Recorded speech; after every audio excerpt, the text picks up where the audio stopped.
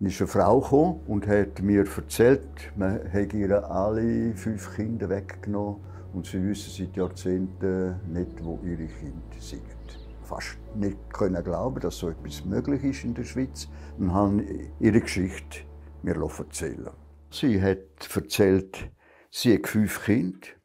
Man hat ihr alle fünf Kinder weggenommen, weil sie eine jenische sind. Man hat sie verfolgt Sie die ältesten Kind hat sie schon vor 20 Jahren verloren und sie hat nie einen Kontakt mit diesen Kind.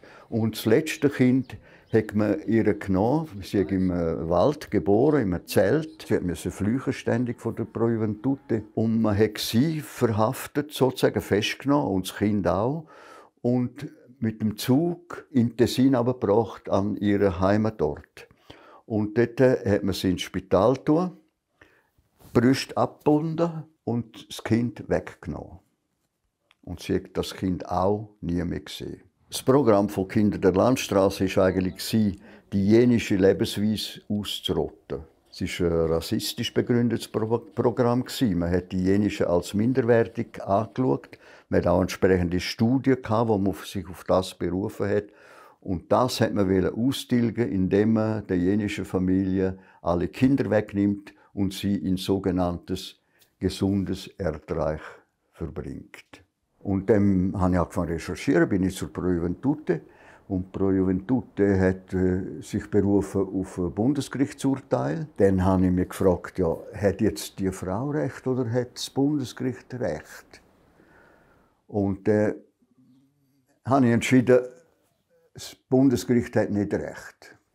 Es war unter dem Mantel Hilfe es hat ein äh, Buch, ein Heftchen gegeben, Kinder der Landstraße. Und die meisten Leute haben, haben das geglaubt, was dort drin gestanden ist. Das ist man, nimmt die Kinder aus dem Sumpf von Alkohol und von äh, sexueller Verwahrlosung und menschlicher Verwahrlosung nimmt man raus. Die Kinder sind meistens nicht in gesundes Erdreich gekommen.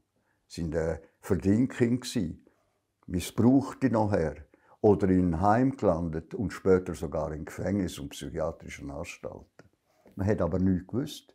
Darum ist auch die Entrüstung so groß zuerst, dass der Beobachter so etwas schreibt, wo nicht stimmt. Und da hat es vor allem auch Lehrer, äh, Erzieher, äh, Sozialarbeiter, die haben das nicht wahrhaben und, und haben entrüstet reagiert. Zürich Zeitung hat einen grossen Artikel geschrieben, die Diffamierung einer Institution, die wir machen. Es hat Tausende von Abstellungen gegeben.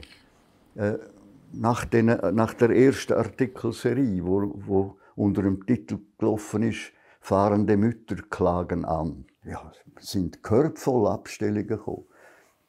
Ich weiß nicht mehr, sind es etwa 5000 oder 7000 oder 10.000 Auf jeden Fall äh, habe ich eines Tages zum äh, Besitzer, zum Verleger, Dr. Raas. Und dann äh, bin ich ins Büro gekommen dann sagt der Raas zu mir, und wie geht es Ihnen, Herr Caprez? Haben Sie ein bisschen flattern? Bleiben Sie ganz ruhig. Das ziehen wir durch und wenn wir 50.000 Abo verlieren.